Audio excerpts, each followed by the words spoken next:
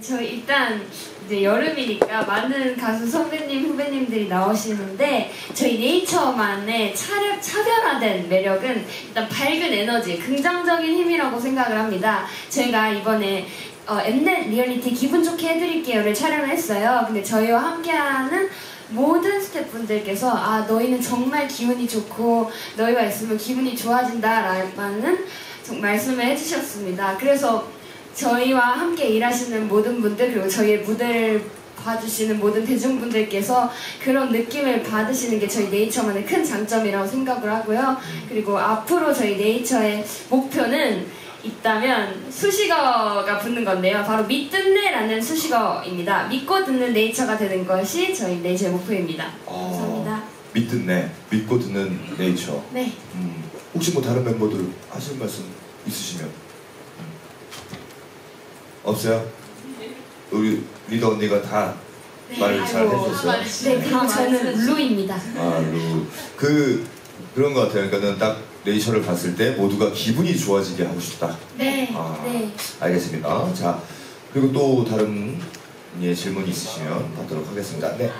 지금 데뷔 후 첫 미니 앨범도 내신 거고 그러니까 리얼리티 얘기도 해주셨고요. 네. 그래서 조금 조금씩 아이돌로서 일어나고 있는 건데 뭔가 이번 앨범 통해서 그러니까 네이처라는 그룹이 이것만은 꼭 이뤄보고 싶다 하는 구체적인 눈에 보이는 목표가 있을지 거기에 대해서 한번 말씀해 주시면 어. 좋겠거든요. 그렇죠. 네. 네, 저는 선샤인입니다.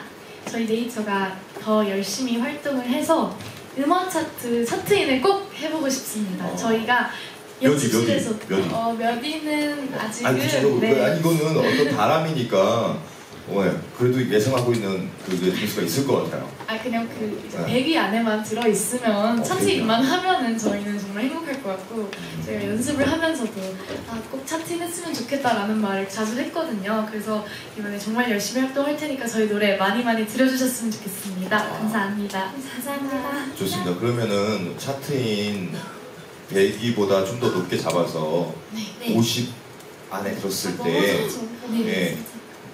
예. 혹시 뭐 이렇게 공약 같은 거 있으시면은 왜 이렇게 많이들 공약 하시잖아요. 네. 뭐 이 자리에서 한번 내가 우리가 만약에 정말 차트인을 해서 50위 안에 든다. 예, 그랬을 때 네. 예. 선샤인입니다. 네. 어, 50위가 아니어도 차트인만 하면은 네. 이제 다- 대중분들과 팬분들을 위해서 내가 좀 예뻐의 다른 버전, 내가 좀 멋져 안무 영상을 한번 공개를 해보고 싶습니다. 공약을 걸도록 어. 네, 하겠습니다. 이렇게 정장을 멋있게 차려입고 내가 좀 아. 멋져를 한번 아, 그러니까 새로운 버전으로 네, 동영상을 네, 올리실 거예요. 네. 알겠습니다. 곧 보게 될 것 같은 느낌이 드는데요. 오. 이거 제가 말씀드리는 거니까요. 아, 감사합니다. 네, 꼭 그렇게 되길 바라고요. 자, 혹시 네, 또- 잘 봤는데 덕분 봤는데요. 제가 저는 두 가지만 좀 물어보려고 하는데 그래서 아까 대충 들어보니까 이틀 전에 다리를 다쳤다고 들었는데 지금 그 회복 기간이 어느 정도 되는지 좀 궁금하고요. 제가 알기로는 멤버가 9명이었던 걸로 기억하는데 한 분이 빠지셨는데 뭐 나중에 뭐 정치적 탈퇴를 하신 건지 아니면 다음 뭐 앨범에 복귀를 하시는 건지 좀 궁금하고요.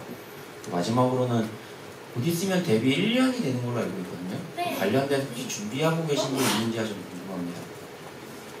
자, 그러면 우리 예, 그 발가락 상태부터 이게 말씀을 예, 회복 완전히 회복되는 기간은 아, 병원에서 듣기로는 2주에서 한 달은 춤을 추는 것을 이제 자제하라고 하셔서 무대는 무대 활동 지금 같이 못 하게 됐고요. 음, 네, 그래도 다른 라디오나 인터뷰나 그런 프로그램 촬영에는 같이 참여할 예정입니다. 네. 네, 그리고 이제 저희가 원래 지난 꿈꿨어까지 9인조로 가가라는 멤버와 함께 활동을 했었는데요. 가가가 지금 학업 학업 때문에 잠깐 중국에 가서 공부를 하고 있어요.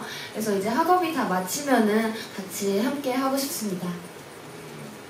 자, 그러면은 어 혹시 뭐 아까 지금 답변이 다 된 거죠? 마지막 질문에 대한 언제쯤 복귀하는지는 아 복귀 시기는 정확하게 뭐 알고 계신 건 없고? 네, 그거는 이제 어. 가가의 학업 일 때문에 저희가 정확히 아. 그건 나는 방법. 학업 때문에 어쨌든 이제 네, 지금 공부를 하러 공부하러 갔어요. 네.